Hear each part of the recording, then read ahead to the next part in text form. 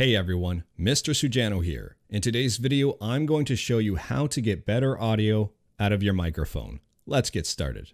Alright, to kick things off, I will be showing some tips that are much easier to do and a few more advanced tips, but I will show you how to do absolutely everything, so hopefully some of these tips will be helpful to you.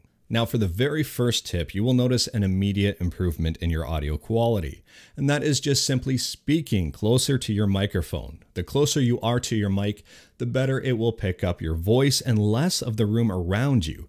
For example here, I'll move away from the microphone and you'll immediately notice a decrease in the quality of my audio. It's now picking up echoes from my room, my voice is bouncing around the room and not specifically right to the microphone. The audio sounds worse the microphone is not necessarily suited to pick me up from this far away. So the closer I get, as I continue speaking here, you will notice an immediate improvement in audio quality. And to determine how far away you should be from your microphone is pretty easy. Microphones differ, people's voices differ. So just record yourself talking into your microphone from various distances and find out what works best for you. For tip number two, don't speak directly into the microphone. And I don't necessarily mean, you know, have the microphone positioned here and then sit away from the microphone and have the microphone try to pick up my voice from the room. That's not going to work very well. What I mean is don't have the microphone directly in front of your mouth to where you're breathing on the microphone. If I'm close to the microphone like this and I say something like popsicle, the air from my voice is going to blast into the microphone and it's going to pick up all of that air noise and not sound very good at all. So what I do is I have it slightly angled away from me so that the air passes over the microphone, but it will still pick up my voice. My microphone is slightly off center. The front of the microphone is here and it's picking up everything going this way, which I'm talking this way, so it should be picking up my voice absolutely fine.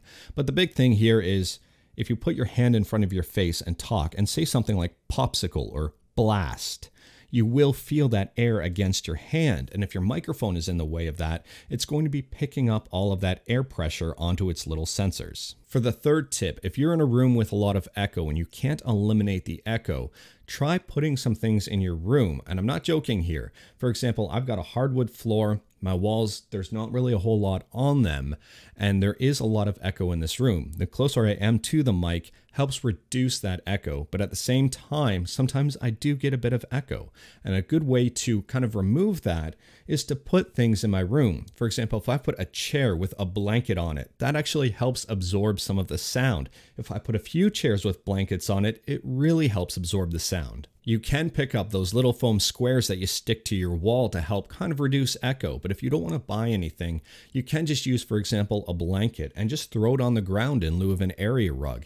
Anything really to help absorb sound as opposed to reflecting the sound will help reduce the overall echo in your room. My next tip is a two-parter, but it has to deal with the physical setup of your microphone.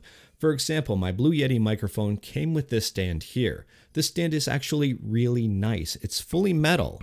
It's a heavy duty stand, but at the same time, the problem is that there is no shock absorption in the stand at all. It transfers all of the noise from my desk directly into the microphone. You can hear all the little bumps. You can hear pretty much anything I place onto my desk transfer up into the microphone. It's not a great experience. There are two ways to fix this. The first way is the cheap and easy way that may or may not work depending on your setup. But what you could do is get an old cloth, fold it up, and tuck it underneath the base of the microphone stand. So the microphone will sit on the old cloth and then on your desk.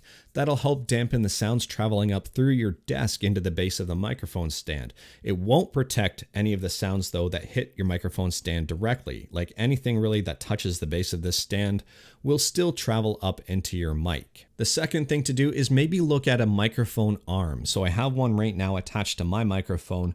There is no shock mount. The shock mount would help exponentially uh, but at the same time, this microphone arm does help lift it off my desk, so I'm no longer getting that desk sound, anything touching my desk, into the microphone. The second thing about a microphone arm, and probably the most important thing, is that it makes it incredibly easy to position the microphone to pick up the best sound possible. I don't have to stack my microphone stand on a bunch of books or something to kind of raise the mic closer to my mouth. I can position it away from the keyboard or a mouse or anything like that. On top of that, I can position my chair pretty much anywhere and have the microphone follow me around with minimal effort and maximum effectiveness. If your microphone has a lot of settings, make sure you're using the proper setting for your environment. For example, this microphone here has a ton of different settings. Right now, I can change it so it picks up everywhere. I can change it so it picks up directly in front and behind, but I don't need any of those settings. I just need it to pick up directly what's in front of me. So I have it switched to that specific setting. So take a look at your microphone. Make sure it's set to the setting that you're using. The next tip I have is to use some sort of audio mixer. Whether it's hardware or software, it doesn't matter. Either one will help out your audio greatly. I'm using a USB mic plugged directly into my computer, and the software that I like to use is Voicemeeter. I will leave a link to this in the description below, but this software is a game changer. And with Voicemeeter here, there are a ton of different options. What I do recommend is picking up virtual audio cable, so downloading and installing these drivers, as well as either Voicemeeter or Voicemeeter Banana. Both of those give you a ton of different options in order to help out the audio that is coming from your microphone. I personally, I just use Voicemeeter because it's easy and quick, but if you want a lot of control, I do recommend using Voicemeeter Banana. Voicemeeter will make any microphone sound better. And I'm not joking when I say that I really mean any microphone. For example, this one here, this is a $5 microphone that I picked up on clearance about, oh, I don't know, maybe 10 years ago. And it is absolutely awful. Like this is a garbage microphone. Um, it's not good at all. But Voicemeeter does make it sound a lot better. So here is a very basic Voicemeeter setup. I really didn't change a whole lot here. I'm not using Voicemeeter Potato or Voicemeeter Banana for this video. I'm just kind of showing an easy and quick way to get it working. Voicemeeter does take a lot of time when you are configuring it for your own voice. Everyone's voices are different, so the settings from one person to another in Voicemeeter won't necessarily be the same. You will have to tweak and kind of play around until you get it set perfectly for your voice. Once you've installed the virtual audio cables and installed a version of Voicemeeter, whether it's Banana Potato or just the normal one, uh, set your hardware input right here in this category here to your microphone. So mine is a Blue Yeti that I'm using, and you can see it's picking up under number one here, microphone, Yeti stereo mic. From there, make sure whatever audio program you are using is referring to Voicemeeter for its audio input. You can change your default speaker on your system and flip it over to Voicemeeter, or you can change it specifically in the program that you're using. For example, I'm using OBS and I have right now my device set to Voicemeeter output. So from here, this is automatically now picking up my Voicemeeter audio mixing software as opposed to my microphone. If I was to switch this over to my microphone, you will hear an immediate difference. So now it's picking up audio directly from my microphone as opposed to Voicemeeter, and you can hear the difference between the two sources. So right now, for example, my Voicemeeter is up and running. You can see it up and running right here, but the audio input for the program that I'm using, I've switched it over just to the standard microphone to kind of show you the difference. As soon as I switch it over to Voicemeeter, you will notice an immediate difference in overall microphone quality, overall voice quality, because that's what the mixer, the equalizer, is kind of doing. To further show the power of Voicemeeter, I'm just going to quickly change one setting here, and you'll see the difference immediately of the tone from my microphone and how much different it sounds just by changing one setting.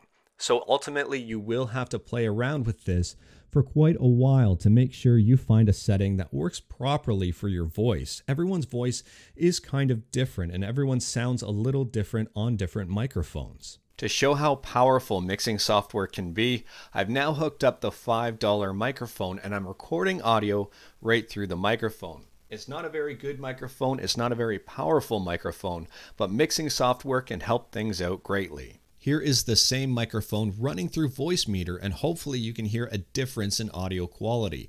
I can also change the settings in Voicemeeter just like I did with the Blue Yeti to change the overall tone of this microphone and to help try to maybe clear things up and improve things.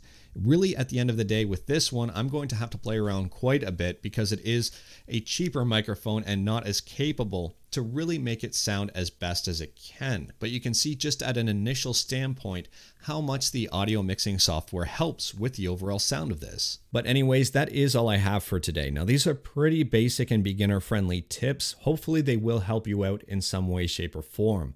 I will also say it always helps to have a friend or a family member listen to your recording of your setup and to see if it sounds actually close to your voice or not.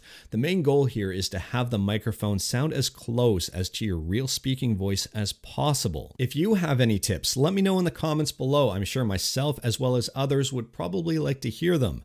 If these tips helped you out at all, let me know in the comments below. If you like this video, leave a like. If you didn't like this video, leave a like. Hit that subscribe button, check out my other videos. Thank you everyone. Take care.